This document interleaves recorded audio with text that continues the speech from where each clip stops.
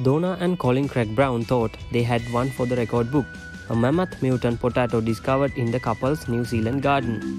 The lumpy vegetable, which they named Doug, tipped the scale at 7.8, earning the Spud star status in their small Waikato town.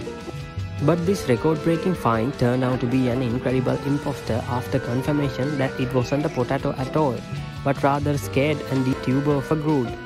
Colin, who received the bad news in a letter from scientists who analyzed its DNA for the Guinness World Records, says he's ready to find another world record in his garden, preferably one he grows himself.